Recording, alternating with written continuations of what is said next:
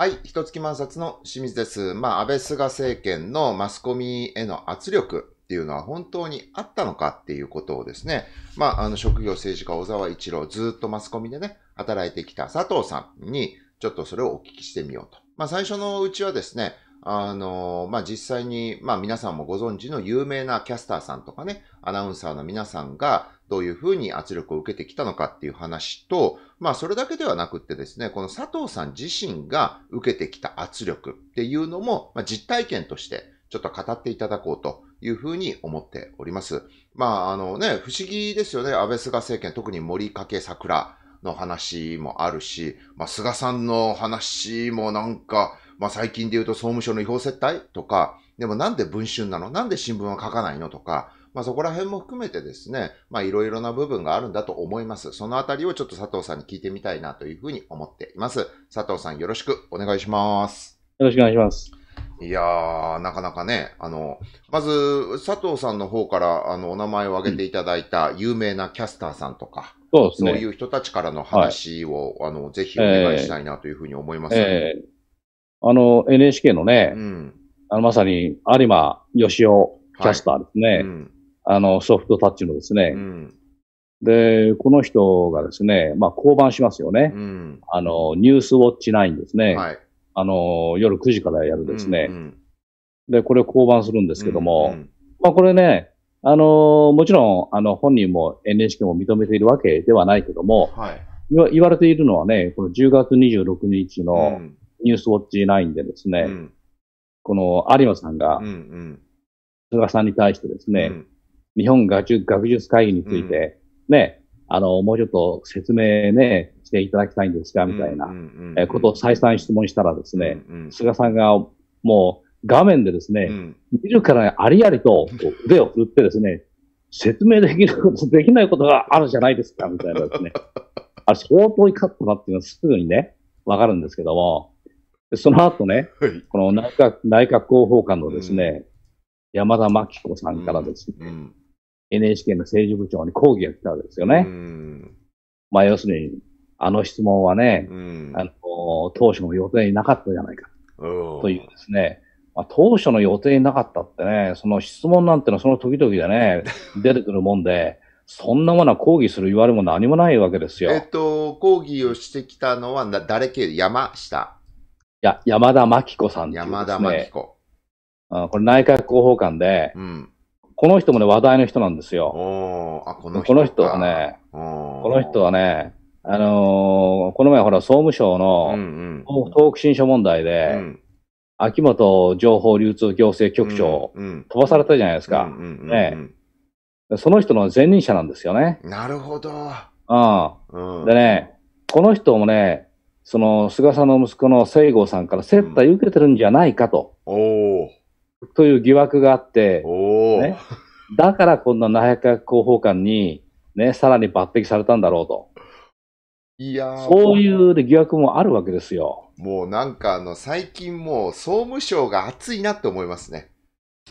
いや、っていうのもあの、ね島根県知事が、この、この野郎っていうふうに、こう、今言ってるじゃないですか、聖火リレーなんか中止にしろとかって言ってて、もう公益財団法人の資格取り消せ組織委員会はとかって言ってるんですが、あれなんでこんなに自民党推薦の人が食らいつくんだろうって調べてみたら、あの、菅さんに飛ばされた自治局の、あの、局長の平島さんと同じ職場にいたんですよね。なるほど。そう平島さんとね。そう。で、で、おで、最近総務省から関連で秋元さんも出て、またこの山田真紀子さんも総務省。まあ、こっちは優勢側ですけどね。うん。いやー、もう、相当だから菅さんに尻尾振る人と、うんもう、あの、うん弾き出された人で、うんうんすっごいグツグツしてるんだと思いますね。だからね、総務省は本当その通り。もうこれはね、あのーなんて言うんですかね、独裁体制が敷かれてるんですようんい。や、そうでしょうね。うん、総務省菅有体制ですいや、よね。もう完全に、うんうん。で、菅有に反抗する総務官僚と、あの、尻尾振る官僚とで、なんか今多分、ごっちゃごちゃにこうなってると思いますよ。そうそうそうう。んで、その有馬さんがね、はい。3, 3月いっぱいで降板するわけですよ。うんね。有馬さんのファンも結構多いと思うんですよね。うんあのソフトな感じでね。うん僕もいい感じだなと思ってたんですよね。うん。と思ったらですね、うん。あの、黒源ね、クローズアップ現代のは武田真一アナウンサーもですい。ね、はい。大阪に移動しちゃうっていうことでう、ん。ね、あの人もソフトな感じでうね、ん。非常に良かったんですけど、この人はね、1月29日にうん。ね、、あのまあ、この前ですよね、うん。あのー自民党の二階幹事長に対してですね、はい。まあ、コロナね、コロナのね、うん。あの、政府の対策は十分でしょうかと。うん。足りないところがあるとすればどういうところでしょうかっていうね、うん。非常に真っ当な質問ですよね。うん。それに対して二階さんがね、うん。こう答えてるんですよね。うん。いちいちそんな風にケチをつけるもんじゃない。それじゃあ、他の政党に何ができますかってね。これ逆切れ町、うん、町のヤクザですよ、これ。逆切れですよ、それただ、本当に。もなんかあれ、なんか二階組組長の二階俊弘にインタビューしたのかなみたいな、なんかそういうふうに誤解をしてしまいそうな答えですね、それは。うそうなんですよ。これはね、あのー菅さんも、さっきの菅さんもそうだし、うんこの二階さんもそうだうし、ん。ね、これ普通のね、あの質問ですよ。うん。普通の。それに対してね、うん。いちいちこう、イチャモンとかケチみたいなね、うん。こんな風に受け取られたらね、あのー本当にね、ジャーナリズムとか、うん。うん記者会見とかインタビューは成り立たないですよ。なるほ全く。そういうようなね、ことがあって、まあ早速ね、この二人は、これは真相わからないけども、うんよく言われているのは、うん要するに飛ばされると、うん。外されるということですよね。うん。あなんか私も少し調べたんですけど、あ別になんかそんな不祥事を起こしたわけではないからな、この武田さんも。いや、全然何の不祥事もないですよ。ねうん。何の不祥事もないですよ。うん。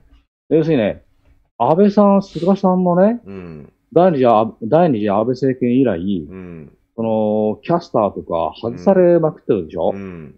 彼らは不祥事とかあったわけじゃないんですよ。うん。ただ単に批判的な態度がけしからんということうで、ん。圧力をかけて飛ばされるわけですよ。うん。でも、ね、ジャーナリ、ジャーナリズムからうん。批判的精神取ったら、何一つ残らないですよ。それはあの多分ですね、あの、うんジャーナリズムじゃなくてプロパガンダ。日本語で言うなら太鼓持ちってやつですよ。そうそれですよ。だから結局ね、あのー今、えーテレビ出たりね、うん。なんか桜の見る会呼ばれたりですね、そういう目に遭ってる、その、いわゆるジャーナリストを名乗る人たちは、まさに太鼓持ちばっかりじゃないですか。うん。いや、そう思いますよ。ね。うん。だからね、この2015年3月のね、にね、このニュースウォッチ9で、大越健介さん、健介さんっていうね、はい。うんキャスターがやっぱり外されてるんですようね。ん。それから16年3月には、やっぱりクローズアップ現代の国谷優子さんがね、ああ、そうキャスですね。キャスター外れ外れてるんですよね。うん。まあ、こういうふうにね、これ特徴なんですようね。ん。ああ。だからそうなんですよ。で、2018年8月には、これも NHK で、はい。相沢、相沢冬樹さんという記者がね、うんうん。この人は、まあ、あのー自らあの NHK を退社しましたけども、これもね、相沢さんの本を読む読むとですね、うんわかるんだけども、まあ、ひどい話ですよね。うん要するに森友問題うで、んはい。これスクープ、スクープしたんですよう。んうん。ね。そしたら、そのスクープが、要するに、安倍政権に対する、まあ、批判につながるので、うんうんあの、しきりに抑えられたわけですよ、うん。上層部から。うんうん圧力かけられて。うん。それで、えー相沢さんはそれはね、まあ、その正義感、正義感からですね、うん。それはい、いけないということで、うんまあ、退社せざるを得なかったわけですよ。ね。まあ、相沢さんっていうとね、あのー最近では近畿財務局のね、うんあのー自ら死を選んだですね、赤木さんの、うんね私は真実が知りたいっていう。そう、ん。その奥さんの赤木雅子さんのですね、あのー手記ですね、まあそういうこともね、あの、信頼を得得ることができる、記者なんですよ。うんうん。本当 NHK はね、まあなんていうかな、宝をですね、うんみすみすですね、あの、なくしてしまったということになりますよね。この私は真実を知りたいっていう相沢さんの本を私読みましたよ。ああ、そうですか。ん。いやいやこれ、これも確か文芸春秋から出てるんですよね。ああ、はいはいはいはい。もう、あの、ど、どう、どうしたんだと。こういうのこそ NHK ちゃんとやんなきゃダメなのに。あ、まそううそう。その通りなんですよ。ん。うん。いやで、僕はね、うんこの、えーっと、こういうね、その、なんていうかな、圧力、ね、政治的な圧力とか、うんそういうので、あのーを受けた、受けてですね、うんまあ、外された人とかですね、そういうのすごい関心持ってるんですよね。うんでね、まあ、一時っていうか、まあ、最近ですね、ちょっとね、あ話をいろいろ聞いたことがあるんですよ。はい。うん。えー例えばね、あの、テレビ朝日のうん。おニュースステーションでですね、松原文江さんっていうですね、うんあの、プロデューサーはがいるんですよね。はい今いたんですよね。うんうんまあ、それ松原さんも、まあ、うん外されてしまってるんですけども、うんこの人はね、非常に有能なプロデューサーで、うんうんあの、ニュースステーションを一人でね、切り盛りしていたんですよ。うん。あの、古舘さんはいの時代ですうんね。ところがですね、その、安倍政権への批判、当然ジャーナリズム、ジャーナリストですから、うんあの、批判的精神が旺盛ですから、うんものすごいね、あのー外される圧力があったんですよ。うんで、この人はね、古舘さんでね、うんそのキャスターで、ドイツの強制収容所、そうですねうんそう、3回ドキュメンタリーしてですね、うんすごいね。うんで、ギャラクシー賞も受賞してるんですよ。うんうんこの人もね、テレ朝にとって宝ですよ。まあそうですね。ね。うんそういう人を外してしまうというね。うんうん。そして、これはね、要するに、あのーテレビ朝日のですね、うん番組審議委員会の委員長だったかな？うんの、健城さんですよね。はい。健城徹さん。うんまあ、この人は安倍さんとお友達ですから、やっぱりね、あの、こちらの方からの圧力なんですよ。こういう圧力がね、あるんですよね。あの、東京新聞の望月磯子さんね。うんまあ、彼女にもね、あの、話いろいろ聞きましたけど、うんうん。やっぱり反安倍、反菅ということでね、あのずっと批判精神持ってますから、うん。彼女に対してもやっぱりね、すごいですよね。あの、うんなんていうかな、あのーまさに、あのー安倍審判っていうか、菅審判っていうか、うんそちらの方からの圧力がですね、幸いなことにね、あの、東京新聞が今、ま守っている状況ですから、これは非常にね、あの、いいと思うんですよ。うんうん。ちなみにあの、テレビ朝日の審議会のメンバー、今私チェックしたんですけど、委員長が健城さん。ああ、なるほど。で、副委員長が田中早苗さんっていう弁護士さうんん。なんですけど、この田中早苗さんの肩書きを見てみるとですね、内閣府男女共同参画社会の将来検討委員会とかっていうところにもいたりするので、なるちょちょっとなんかこう、あ、政府とも関連あるのかなっていうふうに思っちゃう。ね。あとはうんその、な、なんでこの人かって思うんですけど、秋元康さんとか。ああ、そうそうそう。秋元康さんはあれなんですよね。あの、オリンピック、えーっと、パラリンピック組織委員会の理事もやられてますから、うんまあ、権力くっついてる方なんちゃうかなっていうふうに私はちょっと思っちゃうんですけどね。もろそうでしょ。ううんん。というかね、あの、どうも話ね、まあいろいろうん聞くとですね、まあ、県庁さんも、もう実質的に県庁社長みたいな感じみたいですね、どうもね。そうなんだ。うん、相当の今権力者らしいですよ。へえ。うん。でそういうね、あの、体制というのは、うん。あのマスコミね、への圧力ってのはそういうことなんですよ。うんつまり、、あの政権から圧力があるでしょ？特に安倍さんってのはすごい、そういうのは典型的だったじゃないですか。うん。ね。で、菅さんもそうなんですよ。うんで。経営者に圧力をかけると、ね、経営者がまるでオセロのおようにですね、白から黒にか変わるわけですよう。ん。ね。だから、テレ朝の場合はその健城さんっていうね、うんえ人がいるけども、うん他のマスコミにおいてもですね、うんやっぱりそういうふうに変わっちゃうんですよ、うん。経営者が。なそうする、と、うん、一線の記者に対してですね、そういうね、圧力をかけ始めうて、んあの、記者を外したりするんですよ。ううんんそういうね、ことがあるんですよ。うんうん。でね、あのマスコミ、ジャーナリストへの圧力っていうのはね、やっぱり昔からあるんですよ、常うん。にね。うんうん。で、僕の例でちょっとね、言いますとね、はい。あのーじゃあ佐藤さんの実体そ験っていうところうん。の前に、ちょっと皆さんにいいお知らせを、お。ちょっとしたいなというふうに思ってまして、職業政治家小沢一郎、ね、えー佐藤さんが出ていただいてからですね、まあ、1ヶ月でえ増刷が決まり、でさらに、3ずり目が決まったということで、いやー、おめでたい。しかも、えー最初の増刷はですね、こう1000部だったんですけども、あの、次はなんと2000部。いやー、いいですね。素晴らしい。というわけで、今さん、バラク・オバマの回顧録がですね、今、あの、政治家部門で1位と2位上下間で、ね、これが3位なんですけど、皆さん、勝つためにもですね、クリックしまくってください。はい。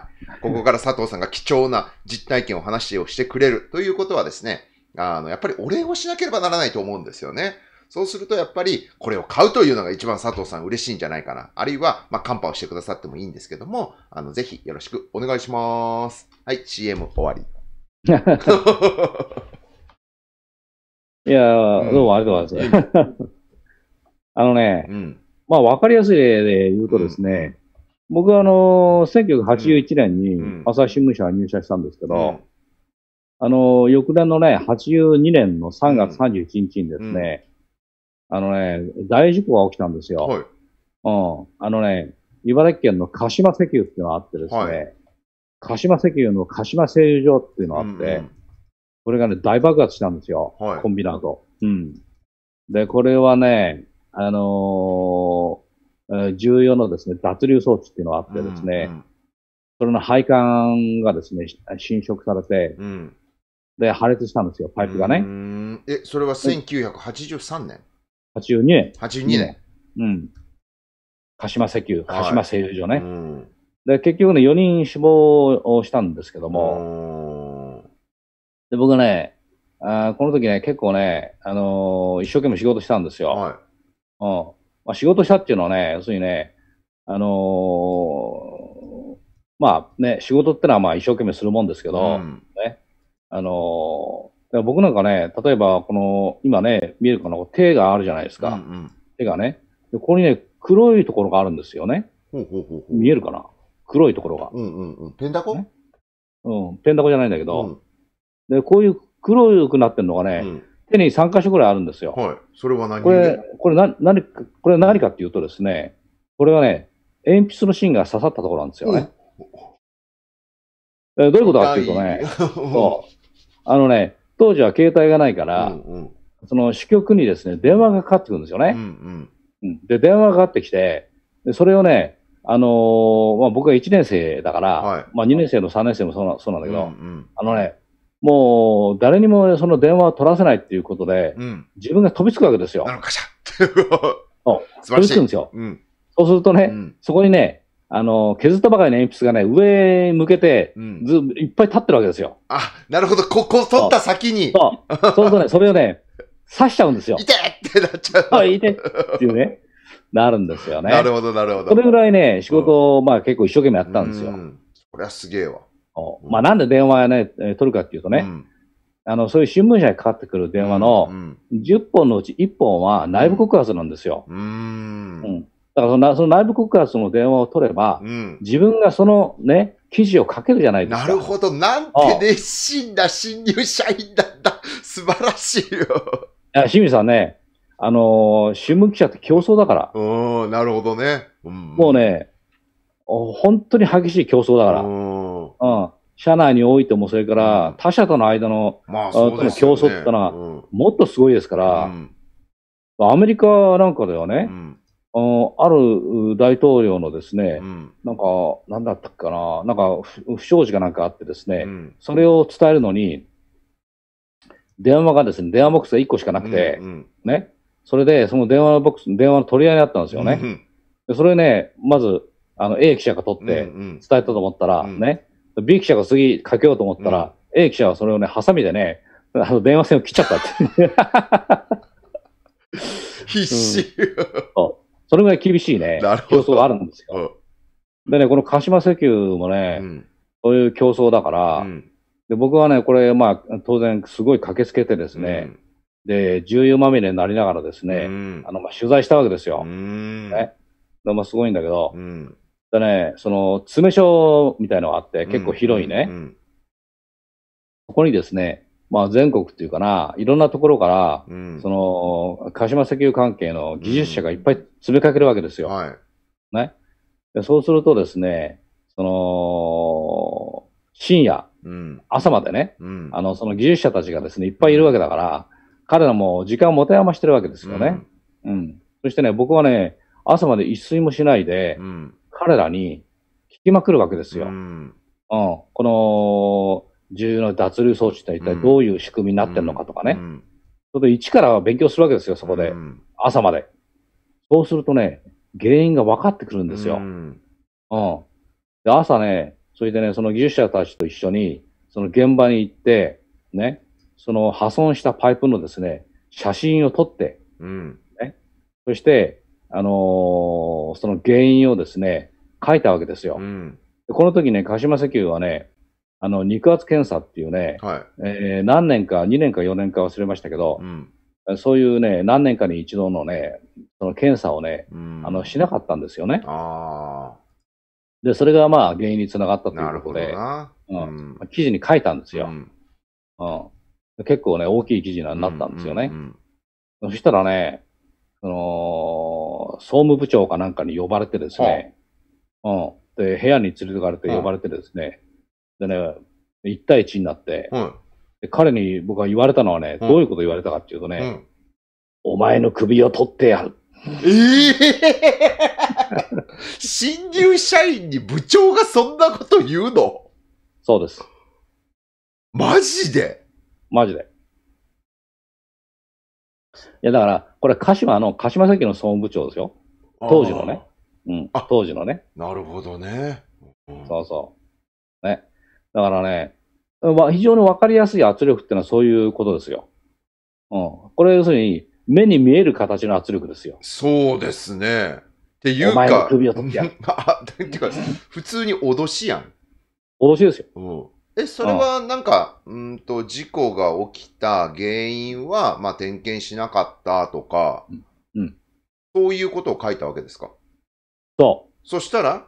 う。うん。そしたら、うんあの、まさに総務部長が、うん。ね、あの、僕を部屋に呼んでですね、うん。で、1対1でうん。何を言うかと思ったら、うん。あの、非常に凄んでですね、うん。うん。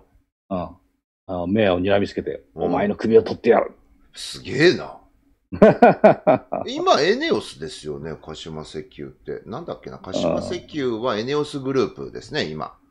うんうん。まあ、要するにね、そんなようなね、ことがあって、非常にこれ分かりやすい例なんですよね。うん。うんまあ、これもね、まあ言われてね、非常にね、初めてそんなこと言われたんでね、うんうん、非常に気持ち悪かったですけど、ううんん。まあ1時間ぐらいしたら忘れちゃいましたけどね。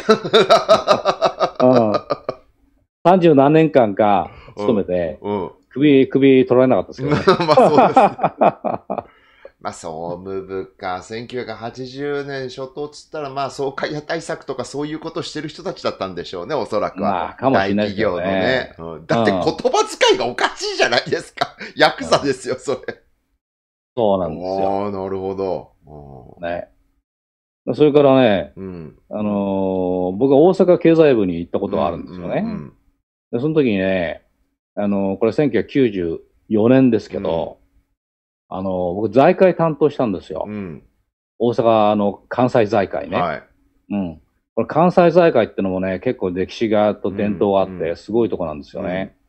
でね、関西経済連合会の、うんまあ、東京で言ったら経団連にやったとこなんですけどね、そこの会長人事があったんですよ。ね。でね、この時結局ね、あの、先月ね、ちょっと亡くなっちゃったんだけど、はいもう住友電工の社長の、住友。かうんうん川上哲郎さんという人がなったんですよねう。んうんうん。で、でその前のうん会長がですね、あの、東洋紡績の、はい。えー宇野治さんという人だったんですよ。うん。うん。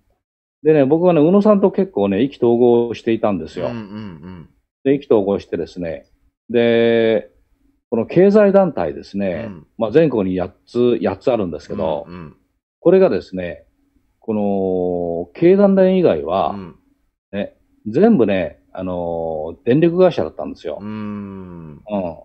要するに電力会社、だから、例えば名古屋であれば中部電力であるとかね。まあ、電力会社ってのはもうそ、どこでも、その、一番大きい会社ですから、うんうんだけど、この形はですね、やっぱりちょっとおかしいだろうと、うん。あまりに。純然たらやっぱり民間会社がなるべきじゃないかと。うん。そういう意見はね、考えは、宇野さんと僕一致し一致していたんですよね。それでね、えー、宇野さんは、まあ、ちょうどね、あのー関西であれば、あの、関西電力、うん。それから民間、民間会社、うん。それから関西電力、民間会社、たすき掛けみたいになってたんですよね。うんうんうん。あ、そのでちょう、どえっと、その、いわゆる、えー経関西の関西経済連合会会長の陣地がっていうことですか？そういうことです、うん。会長のね。で、宇野さんの後だから、うん。東洋坊の後だから当然ね、関西電力の番だったんだけども、うん。宇野さんはそれをね、やめて、うん。住友電工の川上さんにしたんですよ。うん。僕もそれをね、まあ応援というわけじゃないけど、うん。そういうふうに報道してですね、うん。いろいろやったんですよね。そしたらね、これ関西電力から相当睨まれてですね、はその僕がですい。ねう、んで、朝日の佐藤がそういうふうにしたと、した、したみたいなね、感じでもう言われてですね、うんうん。で、地元のね、あの、タブロイド版みたいなね、うん新聞でね、うん書かれたりしましたよ。えいろいろと。なうん。んとまそあ。はあ。まあ、それは要するに直接的に、あの、関西電力から呼ばれててめえこの野郎って言われたんじゃなくって、いろいろ噂を流され、かつなんかようわからんこと書かれたっていうことなんですね。う。そうそうそうそう。んうん。だからそういう時はね、おうん、そう。同じね、社内でもね、うん。あのやっぱり関西電力派みたいなうん社員がいる、記者がいるんですよ。なるほど。あそうするとね、そういう、なんていうかな、スパイ、スパイじゃないけど、こうね、そういう圧力があってですねう、ん。うん、そういう、なんていうかな、摩擦もありましたうね。ん。うん。なるほど、まあ、こういうようなね、こういう陰にこもった圧力ですよね。うんうんうん。それからね、もう一つはね。これはね、清水さんがよくね、あの、言ってくれる、うん。その、岩波のドキュメント金融破綻のね、うんあれですよね。うん。そうそう。で、それをね、書く前にね、うん。あの、その本のね、あの、結構な部分を占めてるのは、うん。僕、アイラ時代に書いた、うんうんあの、記事なんですよね。うん。うん。その各銀行がですね、どうやってその不良債権を隠しているかというですね、それをですね、僕はね、あのー結構暴露したんですよ。ううん。ん。で暴露してしまくってですね、うん。そしたら、なんていうかな、あのー新聞の経済部の方からですね、はいもう佐藤には書か書かせるなという圧力がね、ほかかりましたよね。え、なんで新聞の経済部から圧力があるんですか？だしやっぱりほら、銀行と、あのーなんていうかな、結構うまくやってるから、ああ、なるほそど。まあ、まずいじゃないですか。ああ、なるほど。要するに、政治部にとっては、うん。そのね、政権と仲良くやるのと同じよううに、ん。経済部のね、その、金融とかそっちの方のあれにとっては、やっぱ銀行と仲良くやりたいとこあるじゃないですかい。や、まあ、そりゃそうだろうな。ね。うんそだからね、まあそういうのはあって、で、だけどね、まあそういうのをめげずにまうんあずっと書き続けてですね、うんで、このドキュメント金融破綻っていう形にしたんですよ。うんうんで、この銀行、銀行っていうかな、うん銀行のね、話をね、この本にするときってのはね、うんその出版社を選ぶのも難しいんですよ。うんそうですね。だって、私、なんでって思ったんですけど、朝日新聞時代に書いてるのになんで岩波から出たんだっていうのも不思議だった。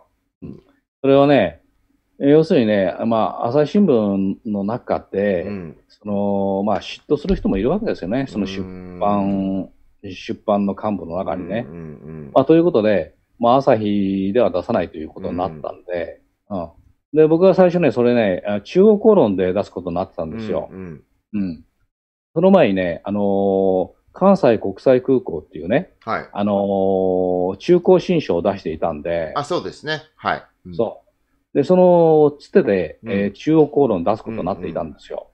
でところがですね、うんこの原稿をほとんど書き終わったところで、えーその人からですね、うん中央公論担当者からあの連連絡があってですね、うんで手紙が来てですね、まあ、出せなくなりましたっていうことになったんですよ。え、その原稿書き上げたの何年ぐらいですか？それは。これが98年の、あ98年じゃないですか？98年ですね。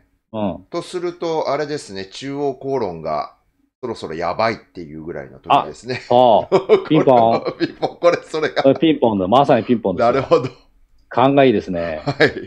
あのね、中国語のその時ね、うん相当経営傾いていて、結局読み読売にね、買収されるんだけそど、うですね。うんねで、かた傾いてる時で、うん。でメインバンクがね、三和銀行だったんですよ。うーん、出せない。無理だ。無理だ、これ。だからねそう、清水さんよくお分かりで、その金融破綻の中で三和銀行も結構ね、あのー批判的にね、相当書いてるんですよ。ね。だからね、あのー相当問題になったみたいで、うん。あのーまさに、あの、上層部でね、なるほどこれは無理だろうということで、これを本当に書いたら潰されてしまうと。いうことで、うん。だから結局ね、うんあのーまあ、原稿用紙400字詰めで、えー1300枚ぐらい書いたんだけど、ううん、んそれはね、ま、まさに行く、行き場を失っちゃったんですよね。もったいない。うん。そう。でそこでね、まあ仕方ないんで、うんあのー政治、えーあのー政治学者のですね、うん山口二郎さんね、うんあのーそれとまあ、あの、親しく、親しかったんで、まあ、彼に相談したんですよ。相談して、で、岩波を紹介してもらったんですよ。なるほど。岩波商店ねうんそう。そういうことで岩波から出てるんですよ。なるほどな。あいうか、中央公論はそこで日和るから潰れたんだと思いますけどね。いやー、まあそこはね、まあ難しいところなんだけどい、やーだって。まあ僕はね、しょそれは仕方ないかなって気もするんだよ。いや、だからそういうなんか根性を見せて、ちゃんといい本出して、経営だ、やってたら、そんな風に追い詰められなかった。そこでね、理念を曲げてはいけないと、私は思います。経営者として。その時うね、ん。だなんとかその三和銀行のとこだけ削れないかっていうね、あダメだ 無理だ、それは。提案もあったんだけど、うんいや、そりゃ無理でしょう。そりゃ無理だ。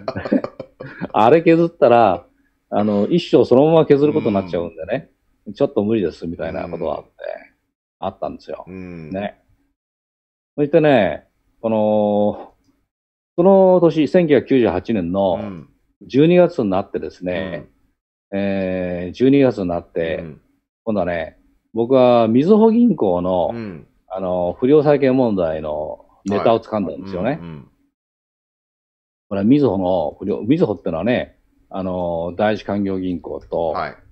それから富士銀行と、そう。それから日本工業銀行と、この3行の合併銀行ですだから、まあ3行とも巨大銀行ですよ。そうですね。ね。で、この3行の、うんあの、不良債権の全貌を掴んだんですよ、僕は。なるほうんど。そう。全貌を掴んで、うんでね、これ月刊文春に書く書くことになったんですよ。うんうんで、月刊文春で3号連続で書くことになったんですよ。うんでね、えー、まさに1900、これ、99年12月だったかな。うんなるほど。99年12月、うんここにね、まず第一勧業銀行のことを書いたんですよ。うんだからね、こあこで全、3回っていうのは、官業、第一官業銀行を、富士銀行を、工業、工銀。これ3つ書くっていう感じで。うん。そういうことです。そしたらね、あのー第一勧業銀行の方で、うん。そのまあ、担当者からですね、うん。まあ、言われたんですよね。うん要するに、まあ、えー、まあ、書いてごらんなさいと。うん裏から手を回しますからと。わかりやす。それわかは、りやすいよ。うん、それ、あまた総務、総務部ですかね。うんまあまあ、そう、そういう関係なんですけどね。まあ、それでね、あ、これはまずいなと。うん。うん。まずいなと。うん。いうことでね、やっぱりね、あーまあ月刊文春ですね。要するに、まあ朝日から書こうとすれば、うん朝日で書こうとすれば、あの、完全にこれは潰されうるん。ということで、まあ月刊文春うん。ということなんですよね。で、この時ね、あのー順番からすれば、うん。岩波とね、僕はその本も出して親しいから、世界っていう雑誌があるんで、はい。そこに書くっていう選択肢もあったんですよね。うんだけどね、岩波のね、あの、メインバンクがうん。うん。第一勧業銀行なんですよ。うーん。ね。きついね。だから そう。あのね、えー、これ経済のね、特に金融関係のね、うんあの、記事っていうのはね、うん出版社とのね、圧力があるんですよ、これは。なるほど。難しいところでね。佐藤さん、ちなみにうちは無借金経営ですから、何の圧力もないんで、なん、なんでも喋ってください、うちは。そう。だからね、文集もね、無借金経営だったんですよ。ううおなるほど。そう。だからメインバンクがないんですよ。ああ、そういうことか。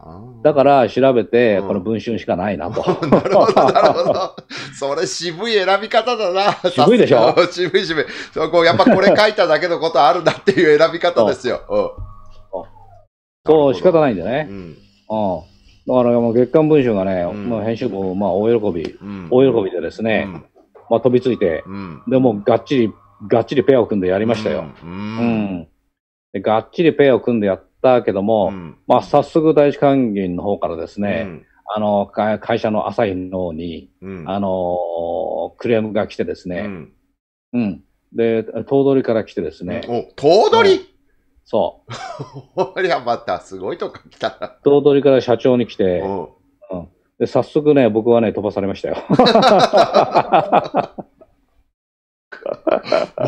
飛ばされちゃった。え、その、えっと、アエラにいたんですよね？アイラにいてね、うん。うん。これで、でねどこに飛ばされちゃったの？それからね、データベースセクションっていうんで、データベースを作るところに、あの、飛ばされて、要するに記者を外されたわけですよねうー。ん。で、記者を外されて、えーで、結局ね、7年間記者外されましたよ。ひどい。うん。そう。まあ、ひどいと思いましたけどね。で結局ね、僕、その、えーっと、文言春秋に書くときに、その許可を得ていたんですよ。うん。ちゃんと。うん。その、アイラの編集長からね。うん。うん。で許可を得ていて、でまさに、その、最初口頭で許可を得て、うんそれから、あ文章で出してくれって言うんで、うん念のためにね。うんで、文章でも出して、ね。それで許可を得て、そこまで念入りにやったにもかかわらず、結局、無許可だったと。なんということだ。そういう風にされてしまったんですよ。文章残した口頭でも約束取り付けたのに、無許可で出したから、そう。まあ、うん。そう。要そういう、そういうことにななったんですよ。よ。うん。で要するにね、その、こういう、このケースはね、朝日の経営者がうん。圧力に非常に弱かったということなんですよう。ん要するに、この、なんていうかな、もう表向きの理由としては、うんね、あの、無許可で、しかも朝日の媒体ではなく、うん他の媒体に、ね、無許可で書いたとなるほいど。うことが、ね理由だったんだけども、うんまず許可を得ていたとということですよね。うんうん。そういうことなんですよ。うんで、他の媒体に書くのは、これはもうなんていうかな、当たり前にあることですかうんら、うん。当たり前にある、あることですから、うん。で、特にね、あのもうこの憲法でもね、言論の自由を保障されているし、うんで、朝日新聞はね、特にそういう伝統があるんですよう。んうん。他社にどんどんか、どんどん書けとう。んそういう伝統があるんですよ。もうでもとにかくね、この経営者は、うん朝日の経営者は、非常に圧力に弱かった。うんああということで、7年間ね、記者を外されましたよ。ひどい。うん。うーん。それが何年の頃ですか？これは2000年ですよ。ああ、じゃあやっぱそれだけこの方破壊力あったってことだと思いますよ。このうん、時破壊力がうんあったと思いますよ。ううんん。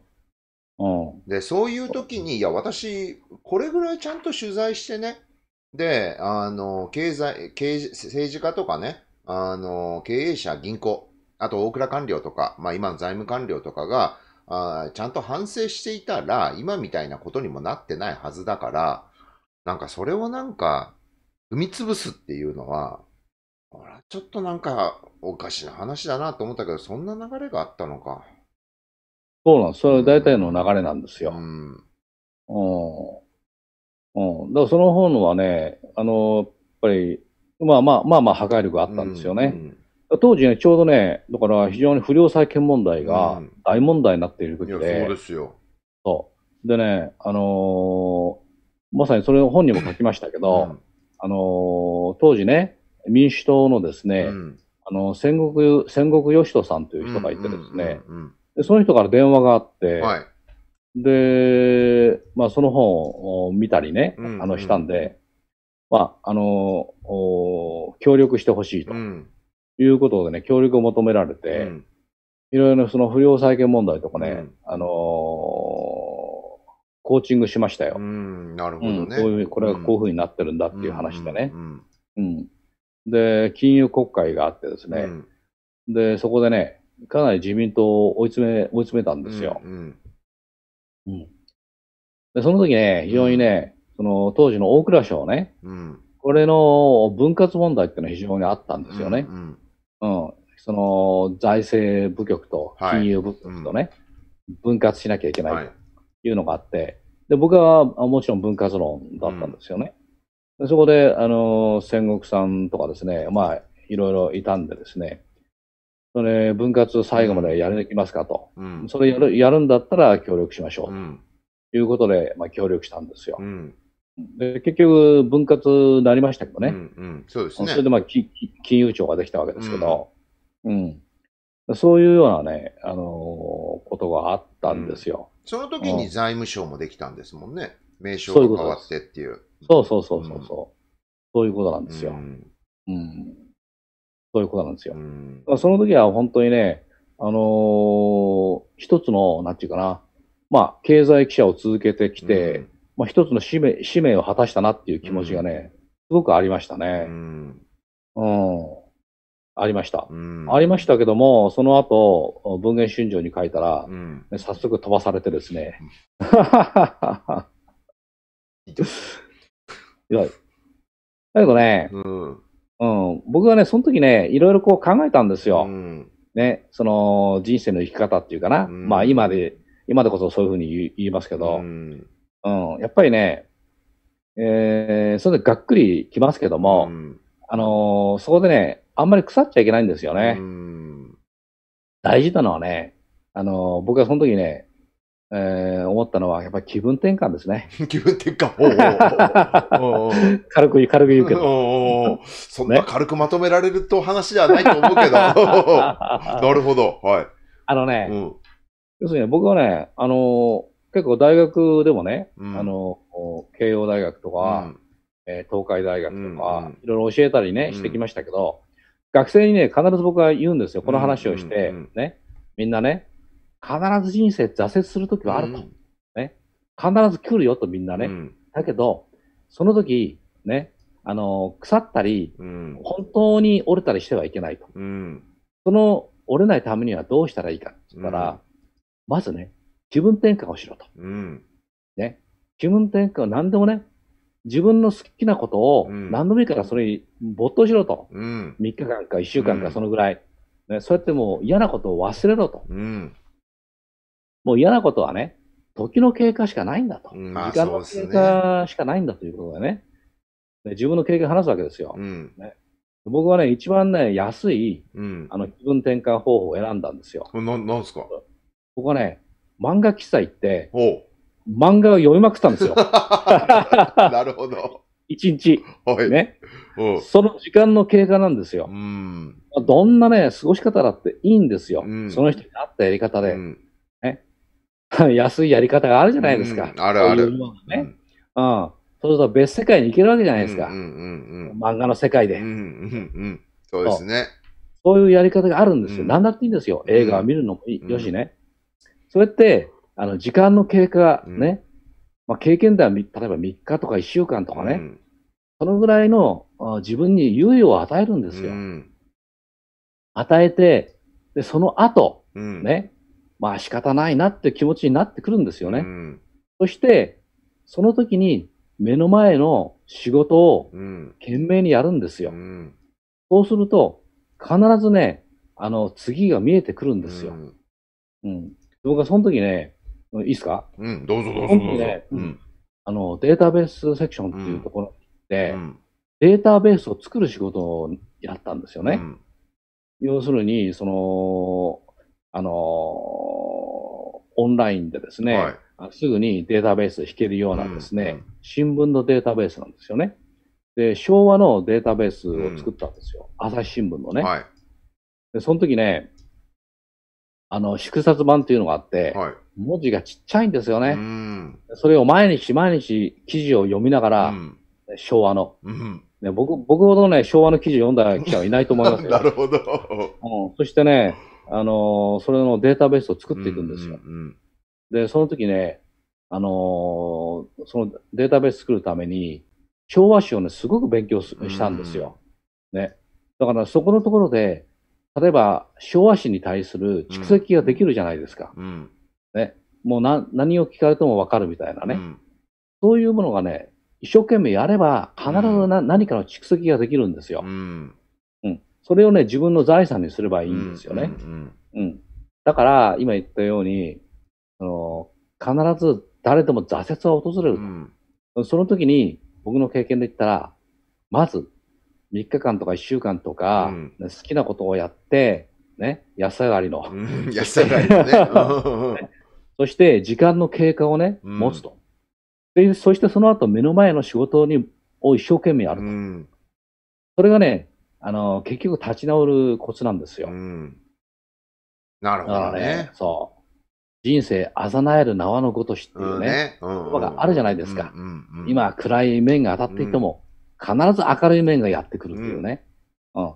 で、人生ってこれじゃないですか。うん。それをね、僕はね、学生にね、熱弁するんですよ。うん。うん。自分の経験をいろいろ語りながらね。うん。うん。そうするとみんなね、なんか納得した風な。まあ、カックはあざなえるね、あの、縄のごとし。で、あとは、まあ、人間万事竿が馬とも言うし、まあまあ、あの、もうそういうことですよね。私も鬱がひどかった時は、あの、散歩したり、ね、ぐったりしてるだけだったり、まあ、失礼、時間の経過っていうので助かった部分もありますからね。そういう時に、あそううん、うんそうそう、そういう時になんか自暴自棄になっちゃったりとか、あの、もう終わりだっていうふうに思っちゃったら、ダメだなっていうふうに思ったのを思い出しました。佐藤さんの話を聞いて。そうなんですよ。うんいや、だからね、その特に新聞社にいるとね、結構ね、あの、自ら死を選ぶ人が多多いんですよ。うん。でね、身近でもね、いたんですよ。んそういう人たちが。ね。でそうしたらね、僕はね、なんでその時に俺に相談してくれなかったんだっていうね、うん、気持ちがありますね。うんそしたら今のことをね、熱弁してやるのにっていうですね。で 結局後で振り返るとね、うんこうやって笑って話せることになるんですよ。うんうんいや、しかし、まあ、その佐藤さんはね、そうやって、まあ、ここのドキュメント金融破綻ってもう残念ながら手に入らないので、なんなんとか復刊できないかなと思うんですけど、あの、まあ、すごいいい本だし、でもこういう、なんて言ったらいいのかな、この記者さんがきちんと、まあ、問題点、権力者に対して問題点、ここだよってまとめてくれるわけですよ。で、それに対して、潰す、飛ばすっていうことをやってたら、やっぱ、成長しないし、改善もされないと思うんですよね。で、その結果、日本の、まあ、日経平均って、まあ、3万円回復したとかって言われてますけど、世界の経済っていうのが、まあ、時価総額ベースで言うと、多分、3倍ぐらい上がってるんですよね。この3倍ぐらいこの拡大している中で、えー日経平均がやっと元に戻ったっていうのをただ騒いでるとかっていうのも変だし、まあ、あとは日銀の膨張だったり、もういろんな問題を先送り先送りにして、まあ、まさに安倍菅政権は、こうなんか問題指摘する人がいたら、はい、飛ばす、飛ばす、飛ばすっていうふうにこう、やってたら、これ、いつか取り返しがつかない、あの、失敗をつけて終わりになっちゃうんじゃないかなと思うんですよね。で、だけど今日は、あの、多くの人はね、じゃあ圧力ってどんなのなのっていうのも知らないと思うので、まあ、有名な事例から佐藤さんの実際の事例まで含めて、今日は話をさせていただきました。まあ、うちのね、あのーまあ、著者の皆さんいろんなあの圧力を受けてますけども、まあ、それでもちゃんと書いてるわけなんで、やっぱそういう人を応援しないとダメだなと、私は思います。はい。まあ、そんなわけでね、いやー、なるほど、佐藤さんも頑張ってきたんだなっていうふうに思ったら、ぜひ、職業政治家小沢一郎、クリック連打で。私の目標は、あの、3月中までに2000本売り切るっていう、勝手な目標を、私も1個追加したから、うん、母親に送りました。これを、はい。なので、えー皆さんもご家族に、あの、送ろうということで。はい。